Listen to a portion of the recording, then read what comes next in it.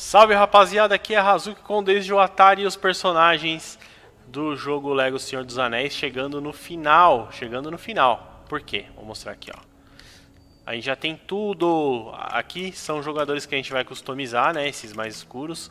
Tem esse aqui que eu não sei como é que vai desbloquear, mas ele vai aparecer qualquer hora dessa aí, né? Porque não tem mais quase nada para fazer no jogo.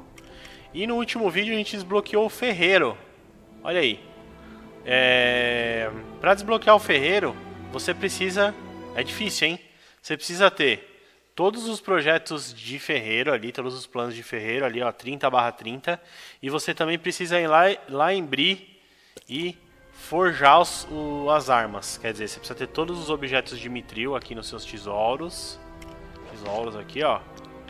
Tem que ter todos os de mitril, os 30 e para isso você precisa de todos os projetos também de Mitril, né? Beleza? Quando você forjar o último, automaticamente ele desbloqueia aí o ferreiro. Ah, e também para você fazer todos os todos os objetos de Mitril, você vai precisar do quê? De todos os, os blocos de Mitril do jogo, os 250, que eles dão certinho ali é, o valor de blocos de Mitril para você conseguir forjar os 30 projetos. Beleza? Se tiver complicado, é só acompanhar indo desde o Atari aí os blocos, os projetos de ferreiro e a pegação dos blocos de mitril que você vai conseguir numa boa. Bota aí é, o momento que desbloqueou o ferreiro aí. Aí, fechei toda a partilheirinha lá, ficou tudo verde, olha que da hora, mano. Ah, estou emocionado.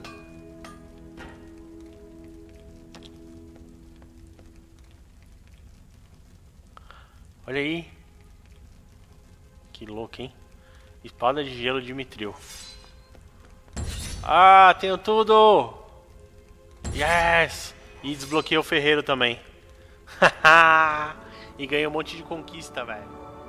Aí, tá vendo? No momento que, em que eu forjei o último artefato aí, o último tesouro de Mitril aí, o último projeto, que foi essa espada muito louca que congela os outros.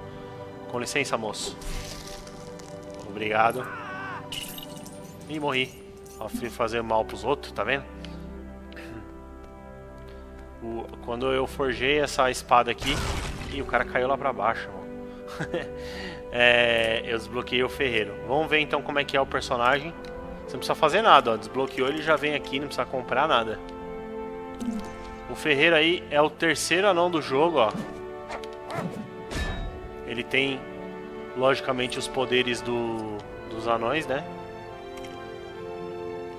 E ele tem, mano, e ele é muito louco, ele usa essa roupa aqui que ele parece um motoqueiro, né? Ele tem estilo, estilo meio motoqueiro aqui, ó. É muito da hora, é muito legal o Ferreiro. E a gente vê ele o jogo inteiro aí, né, mano? É, fazendo lá nossos projetos de Mitril. E só no finalzinho a gente vai descobrir que pode jogar com ele. Um dos personagens mais difíceis de pegar, né? Por tudo isso aí que eu já expliquei, tanta coisa que você tem que ter. É quase um equivalente do Stan Lee. É quase o Deadpool, né? Se fosse o Lego Marvel. O Ferreiro. Bom, estou feliz. Ele vem com o martelo de ferreiro dele ali. Bem louco. E é um anão, né? Os anões são sempre legais. Infelizmente, no, no Senhor dos Anéis, eles não aparecem tanto, então a gente só tem o Ferreiro, o Gloin e o próprio Gini de anão. O resto é tudo Hobbit e humano e outras raças aí, elfo e tal. Bacana? Bom, esse foi aí um desbloqueio muito especial do Ferreirinho. Ferreirinha. Ferreirinha pra vocês aí. Espero que você tenha gostado. Comenta aí para eu saber qual é a sua opinião sobre esse vídeo, sobre esse desbloqueio. E aguarde aí a continuação dessa saga, que ainda tem coisa para rolar. Ainda tem 2% do jogo, mas tem, vamos dizer aí, pelo menos uns 5 vídeos pela frente aí pra gente terminar a série, beleza? Muito obrigado, inscritos do canal. Se você ainda não é inscrito, está aqui pela primeira vez, dá uma olhada lá no Desde do Atari, o canal com mais de 2 mil vídeos trazendo todos os detalhes do seu jogo Lego favorito. Valeu, rapaziada. Até o próximo vídeo e tchau, tchau.